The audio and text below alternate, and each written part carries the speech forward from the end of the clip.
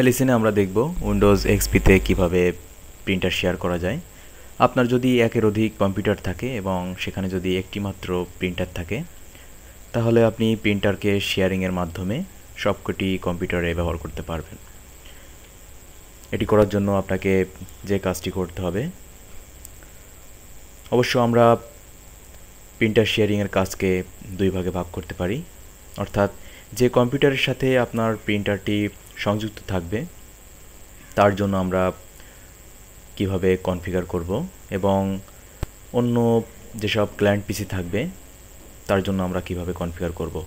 প্রথমে আমরা দেখব যে কম্পিউটারের সাথে প্রিন্টারটি সংযুক্ত থাকবে, সেই কম্পিউটারের ক্ষেত্রে আমরা শেয়ারিংয়ে প্রিন্টার শেয়ারিংয়ে কি কনফিগার করব। এটি করার জন্য আপনাকে প্রথমে স্টার্ট থেকে এখানে আসতে হবে এবং এখানে আমরা দেখতে পাচ্ছি প্রিন্টার্স অ্যান্ড ফ্যাক্সেস এখানে ক্লিক করতে হবে। এখানে আমরা দেখতে পাচ্ছি প্রিন্টার্স অ্যান্ড ফ্যাক্সেস এখানে প্রিন্টার্সে এখানে আমরা অ্যাড এ প্রিন্টার এখানে আমরা ক্লিক করব। এখানে আমরা দেখতে পাচ্ছি welcome to the add printer wizard এখান থেকে আমরা নেক্সট করব। Add a printer wizard local or network printer the wizard needs to know which type of printer to set up যেহেতু আমরা প্রিন্টারটি সেন্টারই থাকবে, আমরা এখানে দেখতে পাচ্ছি local printer attach to this computer আমরা এটিতে টিক মার্ক দেবো এবং এখানে আমরা দেখতে পাচ্ছি automatically detect and install my plug and play printer যদি অটোমেটিকলি ডিটেক্ট প্রিন্টার হয়, তাহলে এখান থেকে আমরা টিক মার্ক দিব। আমরা local printer attach to this computer এটিতে টিক রেখে নেক্সট করছি। এখানে আমরা দেখতে পাচ্ছি সিলেক্ট এ প্রিন্টার পোর্ট অর্থাৎ এখান থেকে প্রিন্টারের পোর্ট এখান থেকে সিলেক্ট করে দিতে হবে। ইউজ দ্য ফলোয়িং পোর্ট আমরা এলপিটি অন পোর্টটি রেখে আমরা নেক্সট করছি। এখানে আমরা দেখতে পাচ্ছি অ্যাড প্রিন্টার ওয়াজার্ডে ম্যানুফ্যাকচার এবং প্রিন্টার্স এখান থেকে ম্যানুফ্যাকচারে যে ব্র্যান্ডের প্রিন্টার আপনি ব্যবহার করছেন, এখান থেকে সেটি সিলেক্ট করে দিতে হবে। আমরা ইপসন এটি সিলেক্ট করছি এবং প্রিন্টার্সের মডেল নাম্বার এখান থেকে আপনার সিলেক্ট করে দিতে হবে। আমরা Epson L Q three hundred এটি সিলেক্ট করছি এবং নেক্সট করছি।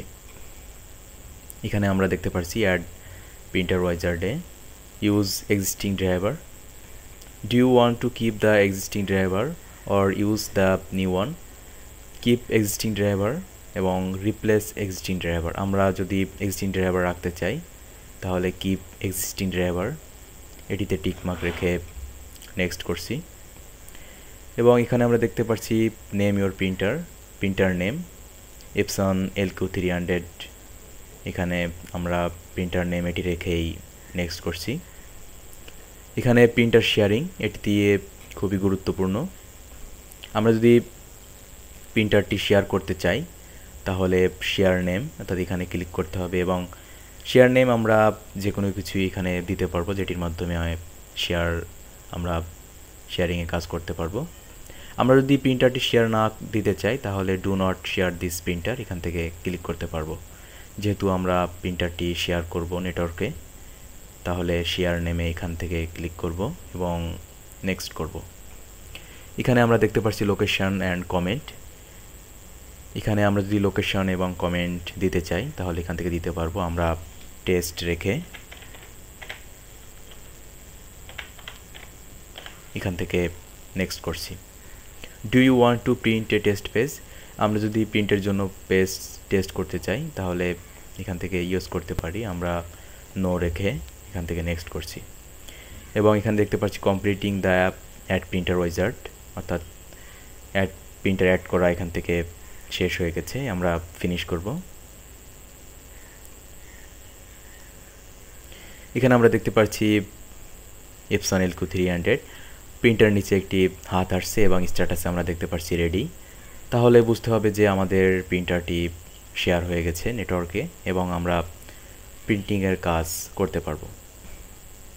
এখন আমরা দেখব কীভাবে ক্লায়েন্ট পিসি থেকে প্রিন্টারটি আমরা অর্থাৎ প্রিন্টারে কাজ করা যায়।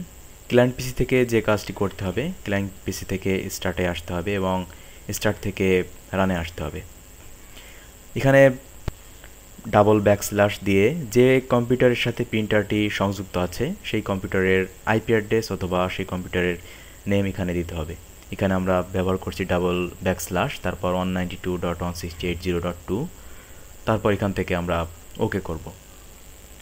তারপর আমরা দেখতে পারব যে ইপসন এল কিউ, এখানে আমরা দেখতে পাচ্ছি ইপসন এল কিউ প্রিন্টার এবং তার নিচে একটি লম্বা ইয়ে আসছে। তার মানে বুঝতে হবে যে আমাদের প্রিন্টারটি শেয়ার হয়ে গেছে এবং ক্লায়েন্ট পিসি থেকে যে কাজটি করতে হবে, ইপসন এল কিউ এই প্রিন্টারে এখান থেকে ডাবল ক্লিক করতে হবে এবং